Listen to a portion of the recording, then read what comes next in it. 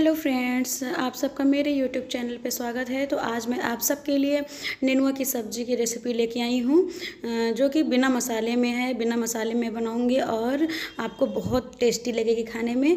तो जैसा मैं बना रही हूँ इस रेसिपी को आप ज़रूर एक बार ट्राई करिएगा। तो यहाँ मैंने नेनुआ को अच्छे से धुल के छील लिया था, फिर उसको काट लिया।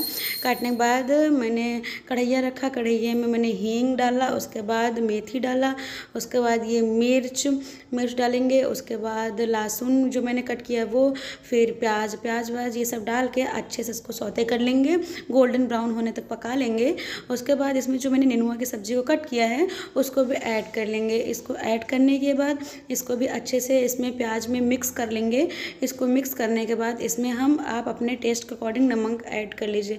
नमक ऐड करने के बाद उसको भी अच्छे से चला लीजिए। इसको अच्छे से चलाने के बाद इसको ढक्कन लगा के ढक दीजिए, ताकि ये सब्ज़ी अच्छे से पके और आप इसको बीच में एक बार और देख लीजिएगा कि सब्ज़ी पक रही है कि नहीं। तो मैंने चेक किया है बीच में तो सब्ज़ी पकी नहीं है। इसमें अभी पानी है तो मैं इसको एक बार और ढक दूँगी ताकि ये पक जाए। बस ये सब्ज़ी मैं बिना मसाले में बनाई हूँ। अगर आपको बिना मसाले की सब्ज़ी ट्राई करनी हो तो प्लीज़ एक बार जैसे मैं वीडियो बनाई हूँ, एक बार ज़रूर आप बना के ट्राई कीजिएगा। आपको बहुत अच्छी लगेगी ये सब्ज़ी। Please try this thank you thank you so much for watching my video अगर आपको मेरा वीडियो अच्छा लगे तो प्लीज़ सब्सक्राइब माई चैनल